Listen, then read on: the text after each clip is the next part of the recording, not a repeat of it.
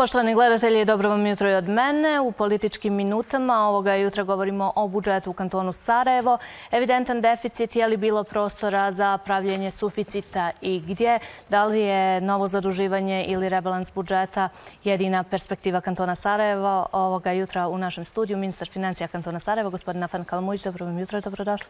Dobro jutro, hvala na pozivu. Pozdrav vama i našim gledalcima. E, ministre, e, kakva je financijska stabilnost kantona Sarajevo u ovom trenutku? Pa vidite, kanton Sarajevo je trenutno stabilan. Mi svoje obaveze izvršavamo. Naravno, sve ide po nekom redu prioriteta kako je obećano, ali trenutno je stabilna situacija. Je li tačna informacija da je kanton Sarajevo u deficitu? Iako jeste koliki je, o kojoj brojci govorimo?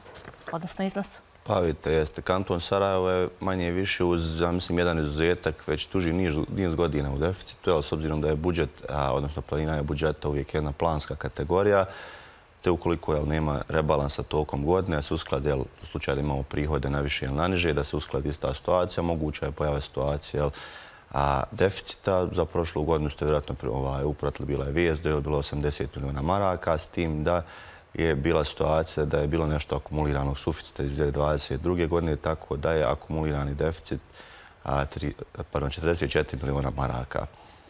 E, vi ste e, prilikom preuzimanja mandata i prilikom usvajanja budžeta za tekuću godinu upozorili da će kanton Sarajevo biti u deficitu. E, jeste li očekivali da će upravo ovakav ishod biti? Kakav je trenutno? Pa vidite, pošto sam ja došao negdje prilike sredinom mjeseca, novembra 2023. godine, dok sam preuzeo sve stvari koje su bile, sve operativne zadatke od mog prethodnika, sve stvari koje su bile u toku. Ja sam već tad uočio neke trendove, te sam ovaj, u skladu sa nekim mojim mogućnostima i neke stvari ovaj, odgodio. Nažalost, već je bilo kasno da bi se radio neki rebalans budžeta ili bilo kakva druga mjera, tako da je ovaj, takav bio na kraju, nažalost, ishod kantona za 2023. godinu. Spomenuli ste rebalans budžeta za tekuću godinu. On je urađen. Hoće li biti? Je li vaša inicijativa e, teži ka tome i što možemo očekivati? Pa da, vidite, ja sam ovaj, od početka ove godine ukazivo na potrebu, verovatnu potrebu za rebalansom budžeta, s obzirom da smo pratili ekonomske trendove, s obzirom da smo pratili ukupnu situaciju punjenja prihoda, s obzirom na ovu famoznu priču oko pondera koja se već vuče duže vrijeme. Definitivno do rebalansa bi trebalo doći. Ja sam ovaj, na kraju usaglasio taj dio s partnerima. Očekujem njihovu ovaj, podršku i potporu da se usaglasimo gdje ćemo napraviti nužne mjere, odnosno rezove i što kažu posprijemiti budžet pred kraj godine kako bi bilo izvršenje adekvatno. Da li će zbog e, potencijalnog e, rebalansa budžeta ispaštati građani? Vi ste rekli da su plaće osigurane e, do kraja godine. Što je sa ostalim kategorijama sugrađana poput porodilja, ljudi koji primaju naknade kao što su civilne žrtve rata i tako dalje? Da li će ta primanja biti ugrožena? Pa ne bi trebalo. Ja sam apelovao kolege da svako unutar svog resora pregleda svoje rezerve, pogleda projekte i da sva sredstva koja su nužna upravo usmjeri na te kategorije. Kako sam i ranije najavljivao i početkom godine i tokom godine, intencija je da svi shvatimo ozbiljno i da se prema kategorijama koje očekuju našu podršku i kojima je to na kraju krajeva i obećano, da se ta obaveza i ispoštuje. Evo ja se nadam i u sklopu rebalansa da ćemo te pozicije prosložiti na najbolji mogući način i završiti ovu godinu kako treba. Je li moguće i uopće očekivati da neko da tako kažem, neće biti zakinut za određeno primanje, za određen projekat, za određenu namjenu ukoliko dođe do rebalansa budžeta? Pa vidite, one stvari koje su započete trebalo da budu i završene. Ja ću se vratiti na svoj neki, da kažem, uvodni govor prilikom izlaganja prijedloga budžeta za 2024. godinu. Ja sam rekao, ok, budžet i politike koje stoje iza vlade kantona Sarajevo su odlučili da budžet bude takav kakav jeste. Ja se složio da bude malo komotniji, upravo da bi dao prostora sve oni projekti koji su spremni da ovaj, i budu realizovani. A oni koji nisu, mislim da je dobro vrijeme da kolege luđu u to i pogledaju ono što nije trenutno provodivo do kraja godine, da upravo nam to bude ta rezerva iz koje ćemo crpiti sredstva i gdje ćemo ovaj, na kraj krajeva izvrši po spremanju budžeta. Ministra, ono što je i tekako intrigiralo javnost jeste rješavanje pitanja subvencija za stanove za mlade. Znamo da su oni izlazili na ulice, da su bili nezadovoljni onim što je vlada obećala, a onda u konačnici što je ponudila kao rješenje. Što će biti sa tim? Hoće li do kraja godine moći biti isplaćena ta sredstva? Pa vidite ovako, sama priča, ali ti subvencija stanova je starija od moje ovaj, imenovanja i funkcije kolege su to radile. Ja sam i ranije prilikom gostovanja, mislim, baš upravo u ovoj emisiji, negdje početkom mog mandata i rekao neke stvari koje mislim da bi trebalo da se urade. A koliko znam, u ovom slučaju postupa resorni ministar Bojan Bošnjak. On je poslao neke zahtjeve prema kolegama, čeka njihovo očitovanje i svakako, evo, ukoliko bude prostor, rebalans budžeta, ovaj, evo, ja pozivam kolege da to na najbolji mogući način se riješi. Shodno tome da ste vi ipak e, ministar financija, što ste konkretno, evo, možemo podsjetiti e, građana i sve naravno mlade koji su zainteresirani, kojih se tiče ova tema, što ste dali kao preporuku? Pa vidite, vam budem iskren, ja generalno ovaj, ne podržavam samo mjera, znate, koje ono vam je, da kažem, podijeliti novac. Po meni bi trebalo ući malo dublje u samu strukturu i zaista pomoći onima koji su najpotrebniji i vodijeći baš o tome računa da se ovaj, te stvari riješe. Ja mislim, evo sad to je neki moj lični stav, da je možda u buduće potrebno raditi neki drugačiji način modaliteta. Svugdje van, evo ja sam živio i na zapadu, je više, da kažem, se ide u smjeru nekog poticajne stanogradnje, znači da država sufinansira, finansira izgradnju stanova za mlade kojima njima bili stavljene na raspolaganje po cijenama koje su ispod tržišnih i upravo na taj način stimulirali da ovaj, na kraju krajeva dođu do svoje prve nekretnine. Među onima koji su iskazali nezadovoljstvo bili su između ostalog i zdravstveni radnici u kantonu Sarajevo. Vlada je ispunila njihov zahtjev i povećala im je satnicu rada. Došlo se tu nekako do dogovora. Međutim, tada je gospodin Sadković, koji je predstavnik iz sindikata, rekao da ipak e, to još uvijek nije na onom nivou na kojem bi trebalo biti kada govorimo o ovoj kategoriji naših sugrađana. Znamo koliko se izazovan je njihov posao i sa svim situacijama sa kojima se suočavaju. Što ako dođe opet do nekih novih zahtjeva? Da li će kanton Sarajevo financijski moći izdržati da odgovori zahtjevima?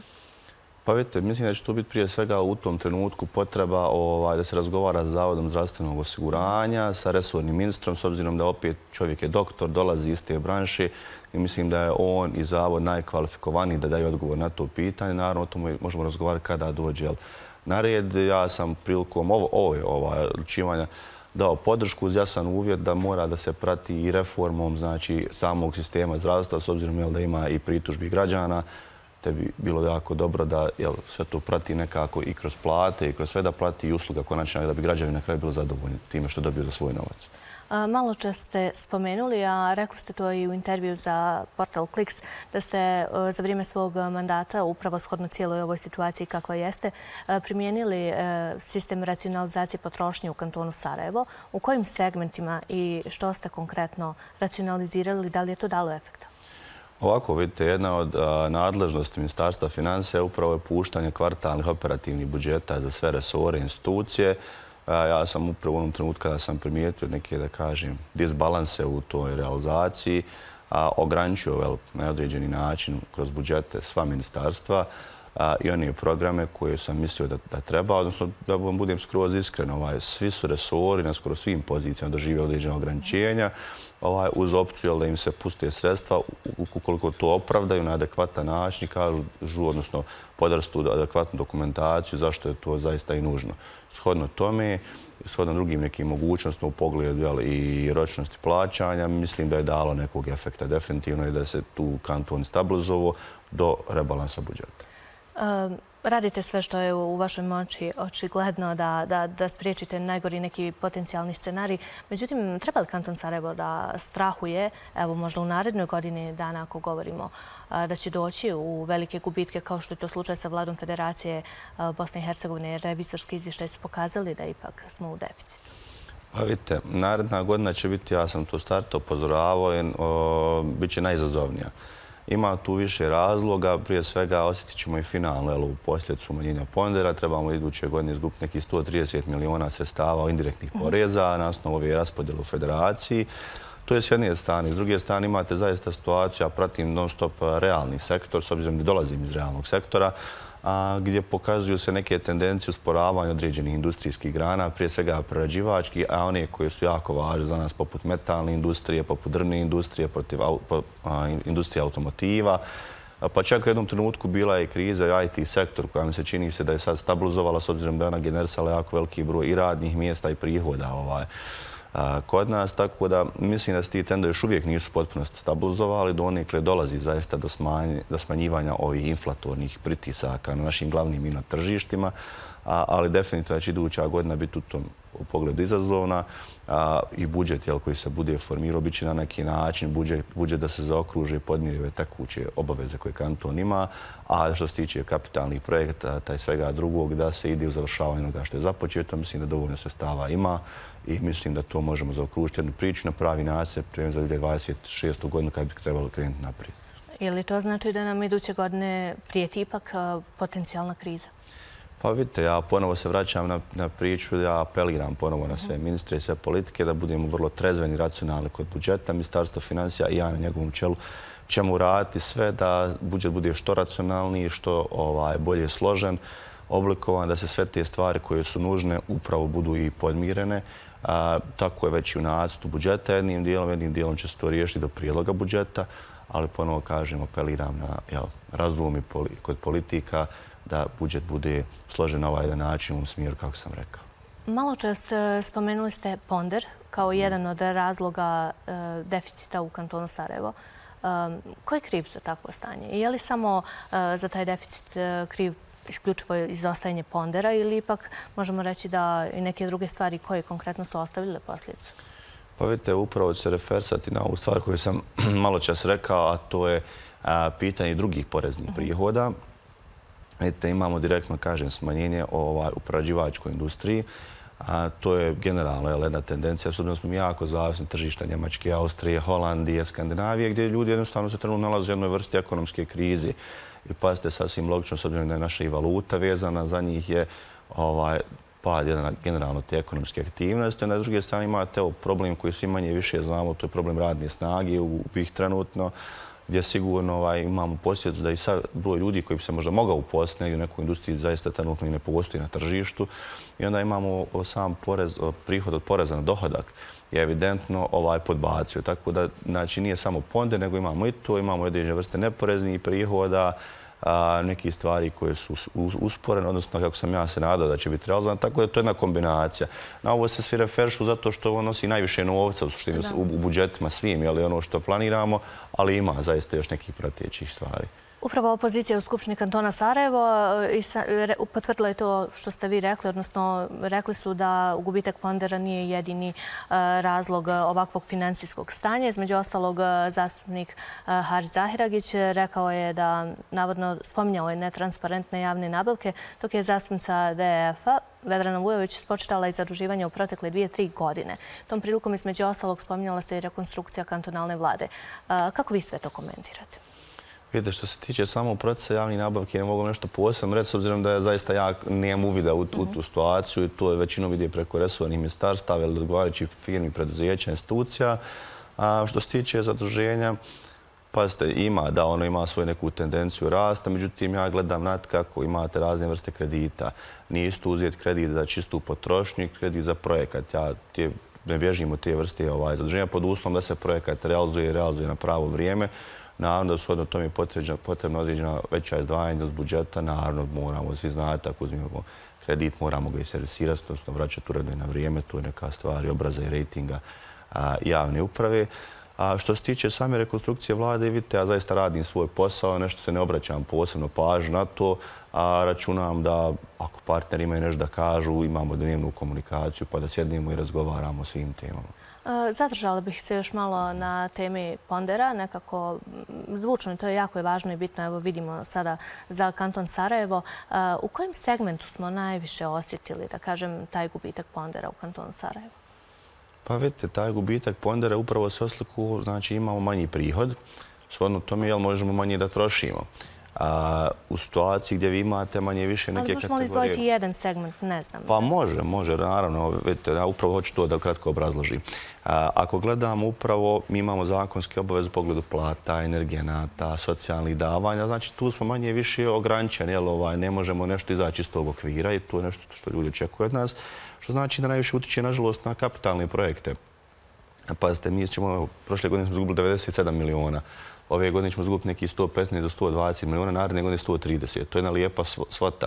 Ako dodate na to, recimo, još jedno dvije godine, mogu se bukvalno napraviti gradski autoput koji se procjenje negdje na milijardu i po. Znači, bez ikakvih dodatnih sredstava, bez zaduženja, bez odgađanja. Znači, osjeti se ipak na tom jednom dijelu kapitalnih projekata od koji bi možda svi građani imali nekog benefita na kraju. Mislite li da su građani drugih kantona konkretno osjetili benefite povećanja budžeta u svojim kantonima shodno oduzimanju novca iz kantona Sarajeva? Pa vidite, ono što sam imao dodira sa kolegama iz drugih kantona, čini mi se da i nisu. Ovaj, dosta je sredstava očilo u povećanje osnovica, plata i tako dalje. S tim da, evo, vidit ćemo, hajde da im damo malo prostora. A s obzirom da su to za njih, da kažem, novi neki ovaj, prihodi, možda i neočekivani, mada je jedan kolega u šali govori baš ovaj, iz jednog drugog kantona, pa kaže, mi smo se 10 godina borili za ovo. Ja se nadam da će mi ipak to otvoriti jednu perspektivu da oni pokrenu jedan dodatni možda investicioni ciklus kod sebe. Vidim, na primjer, trenutno da mislim da je Tuzlanski kanton upravo nekim pregovorima vezan za projekt utopljavanja javnih zgrada koji vodi neku bolju energetsku efikasnost. Pa evo, ja se nadam da će to prati jedno drugo na taj način. Da. E, ministre, je li e, ovakav način e, implementacije ili odluke od uzmanja pondera kantonu Sarajevo bio loša odluka? Je li se moglo to bolje implementirati? Primjer radi da se to moglo možda hipotetički raditi strateški, pa da sada imamo situaciju evo poplava, saniranja posljedica poplava, pa da novac bude strateški preusmjeren tamo gdje najviše treba. Je li moglo to tako i da li bi, shodno vašem mišljenju, bila možda bolja opcija? Pa vidite, ja ako vam govorim iz aspekta građana Sarajeva, svakako, naravno, logično da ću vam reći da ne slažem se sa tom odlukom. Međutim, vam govorim iz aspekta čisto struke ovaj, ekonomije. Vidite, moguće, vjerovatno da i ponder 2.0 za Sarajevo nije bio realan, da je bio realan da to bude nešto niže i da određeni kantoni koji su prilično mnogo ljudi tipa Tuzlanskog kantona, to dobiju jedan dio tih sredstava. Međutim, i ovakav ponder nije po meni pošten i nije fair, jer zaista, pazite, Sarajevo je i centar kantona i glavni grad federacije države i zaista ima određenu potrebu u pogledu servisiranja svega toga. Zaista je puno obaveza, znate. Nije samo da građani kantona imaju toga korist, nego svi ljudi koji dolaze ovde i administracija i obaveze. Ovaj, tako da mislim da se tu trebao naći jedan balans i mjera. Upravo u tom pogledu imaju ove određene studije koje su rađene ranije u pogledu tih kriterija za raspodjel, odnosno za određivanje pondera po kantonima. I mislim da je sad ovaj, dobro vrijeme da se možda ponovo revidira i otvori ta priča da vidimo šta možemo tu raditi. Prvo sam htjela pitati vas to, vi ste najavili da ćete tražiti reviziju pondera. Da li je uopće realno očekivati tako nešto, shodno tome da je odluka donesena i na višim instancama? Pa vidite, po meni je ovo odlična prilika. Evo imamo ovaj, neku, da kažem, koherenciju i vlast, odnosno konsistenciju vlast, kanton, federacija i mislim da je sasvim dobro i, oček, i opravdano očekivanje da nas podrže u tom pogledu, pa čak i ako ne, opet i to je neki stav. Ali mislim da nema razloga da barem ne saslušaj taj prijedlog i mislim da ovaj neki model kojim se razgovaralo, možda uz određenje dorade i zajedno sjedimo, razgovaramo sa kolegama iz drugih kantona, mislim da mu treba da šansu objasniti ljudima i ovaj, mislim da ima prostora za dogovor ako ima imalo dobre volje. Kada govorite o dogovoru, kakva je saradnja federalnog nivoa vlasti, evo konkretno sa kantonom Sarajevo? Koliko ima sluha za sve vaše potrebe, za, ono, za inicijative koje upućujete, za očekivanje, za sve stvari koje potražujete? Pa vidite, ja mogu govoriti s aspekta sebe i ministarstva koje vodimo. Ovaj, evo, nažalost, još uvijek tu se... Možda i najvažnije. Pa da. Ovaj, pojavilo se pitanje tog transfera koji mi očekujemo, koji je planiran u budžetu, koji se dešava godinama iza nas i pazite, to je transfer koji je već planiran na sredstva, dio ide na podršku budžetu, dio ide na kapitalne projekte. Ja bih zaista volio da se taj dio stvari ovaj, obećanja ispuni kako bi mi mogli ta dalje stvari servisirati dalje pružiti građanima, jer oni to očekuju upravo to. Znate, niko ne nosi ta sredstva, nija ni bilo kod kolega kući, nego upravo to je namijeno projektima građanima od rekonstrukcije škola, vrtića, čitavog niza nekog projekata koji se podrazumima iz tog prihoda. Budžet koji je usvojen bio je rekordan za tekuću godinu u kantonu Sarajevo. Malo čas ste i vi spomenuli važnost kapitalnih projekata. Koliko ih je realiziranih u kantonu Sarajevo? Pa ovako, vidite, neki dio budžeta koji se tiče kapitalnih projekata, odnosno kapitalnih transfera izdataka, stalna sredstva, iznosi 157 miliona maraka, očeka 51 miliona su budžet sredstva, uključujući i ovaj, upravo ovaj dio sredstava od federacije, dio od kredita. Ja mogu kažem gore s tog aspekta, mi smo dio priče upravo koji se tiče kredita, kako sam ja i najavio prilikom preuzmanja mandata, revidirali i sveli smo to na jedan manji okvir dok smo dogovorili se ostatak sredstava ide iz prenamini ranijih kreditnih sredstava kako bismo nova stavili u funkciju. Kako sam i obećao, znači to je aktivno upravljanje tim portfolijem. Vidim da kolege u osnovu po resorima troše tijel tog novca, a možda najbolje na kraju godine da sjedimo, porazgovaramo, podvučimo, cvrdovimo šta će još do kraja godine iskoristio, obzirom da imam najave po ministarstvima da će biti još dalje povlačenje sredstava. E, kada ste govorili o gubicima u kantonu Sarajevo, rekli ste da između ostalog e, jedna od tih posljedica jeste stagniranje procesa zapošljavanja. E, kakva je trenutna situacija tu? Jer mnogo puta smo imali priliku da vidimo i da čujemo da će postojati i inicijative i strategije i zapošljavanja većeg broja ljudi, davanje podrške kroz pokretanje vlastitih obrta, biznisa i tako dalje. Kakva je trenutna situacija? Vidite ovako, kako sam ranije rekao, upravo ove posljedice na ino tržišnom, s obzirom da je Bosna i Hercegovina po svom modelu mala otvorena ekonomija, što znači da jako zavisimo od onoga što se dešava vani. U pojedinim industrijskim granama, jel ovim koje sam i naveo, osjetite se posljedice pasta u drvnoj industriji, u industriji namješta imate zaista kašnjenje isporuka, odgađanja isporuka, čak ima informaciju da se odgađaju rokovi plaćanja, isto važi za metalnu industriju. Imate tu krizu i kažem autoindustriji gdje jednostavno vidite svi da je trend prelaska na električna vozila, hibridna vozila, određene komponente, određeni dijelovi industrije zaista više nisu potrebni. Potrebno da se što kažu ponovo izmisli. Imali smo i tu krizu u IT sektoru koji je postao jako važan u našoj ekonomiji, koja je posljedica opet nekih globalnih trendova od Sjedinja američkih država pa prema Europi. Situacija je, kažem, da mislim da u narednom periodu će sigurno potrebati još neko vrijeme do neke stabilizacije, ali to treba vremena, cirka jednog godinu dana. Mi kroz opet druge strane programe i Zavoda za zapošljavanje, službe za kantona Sarajevo, imamo dio programa mislim da se sredstva koriste puno više nego u prošloj godini, što je jedan dobar pokazatelj. I upravo imamo jako veliki broj sastanaka i sudruženja poslodavaca. Baš smo prošli sedmice imali jedan takav gdje pokušavamo napraviti neke nove programe koji bi upravo bili u smjeru i do kvalifikacije, odnosno obuke radne snage, izdvajanja određenih programa i sredstava u tom smjeru. Hajde da vidimo, mislim da to ide u jednom dobrom smjeru koji bi mogao donijeti nam neki benefit. Ministra, kako naprijeti financijski aspekt eh, kantona Sarajevo? Pitam vas iz razloga što ste i vi malo čas spomenuli na početku razgovora zapravo eh, da naredna godina biće teška, izazovna, evidentno gubici su tu. Međutim, evo, što na vrijeme možemo učiniti? Da li možemo pravovremeno uopće reagirati? Pa, vidite, mi upravo, kažem, borimo se sa tom situacijom. Dio mjera koje sam ja podzeo, kako sam imenovan, to su, na primjer, tri glavne grupe mjera. Prvo je imali smo znači, usvajanje adekvatnih pravilnika, odnosno instrukcija i formirali smo radnu grupu u pogledu evidentiranja sve imovine kantona Sarajevo. Kako bi stavili funkciju, zašto to govorim? Imamo jako veliki broj imovine kojom realno kanton ne pruža neke usluge građana, može ulaziti u njih, pogotovo tipa naprijed turističkih kapaciteta, pa imate hotela, ja sam tada i prezentirao, hotel Maršal, imamo neki objekata na Jahorni jednostavno taj novac da tu možda imovinu prodamo, stavimo raspolaganje ekonomije, odnosno poslodavac, odnosno privredi, a da novac koristimo za projekte građanima. To je ili čak u pogledu da neke stvari koje trenutno e, koristimo za plaćanje kirija i najemnina za institucije, umjesto toga stavimo svoje objekte u korištenje i time uštedimo novac, pa i to je jedna vrsta mjere. I to nam zaista može donijeti jedan benefit. Drugo je, e, evo upravo danas e, imam na Skupštini kantona zakon o registru obaveza i potraživanja kantona Sarajevo. To će omogućiti nam bolji uvid u sve ono E, gdje je, što kažu kanton, dugo je novac i treba pokupiti novac. Evo, prema mojim trenutnim informacijama koje raspolažem, a firmama iz komunalne privrede se duguje trenutno sudovi, imaju 155 miliona maraka vrijednih sporova. Pazite, to je ogroman novac koji se može staviti u neku funkciju ili na kraju krajeva da se dio tih potraživanja upakuje neki paket i prodaje na kraju krajeva firmama koje se bave time.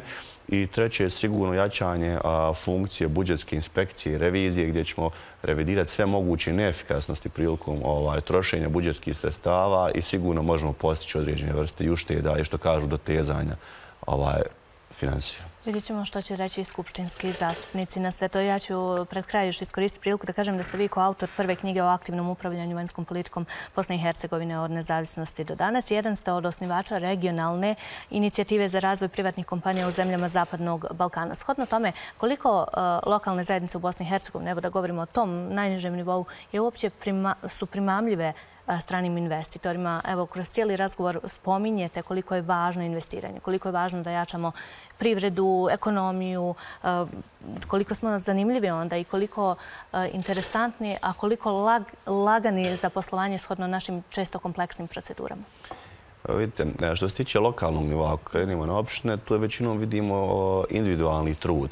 Neki opštine se trudile pa su dobili certifikate kao od područja pogodne za investiranje. Ja volio da vidim više toga na nivou svih opština, evo prije svega u federaciji, ali generalno bih. E, trenutno, kako se trend pokazao, da jednu veću prednost u tome svemu imaju opštine koje su bliže granicama.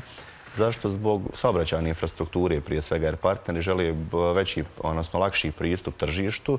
E, za nas je sigurno jedna dobra stvar koju moramo maksimalno iskoristiti. Činjenica je da zemlje dalekog istoka, odnosno prije svega Kina, su sve manje interesantne zbog prije svega stalnih turbulencija sa prijevozom. Kod njih rastu troškovi rada, on su specifične zemlje od sebe zbog svoje regulative. Tako da mi zbog svoje e, blizine razvijenim zemljama imamo jednu ogromnu ovaj, priliku. Nažalost, još uvijek je ne koristimo. Tu ispred nas čak i Srbija i Makedonija, ako gledamo zemlje i regije koje nisu u Europskoj uniji.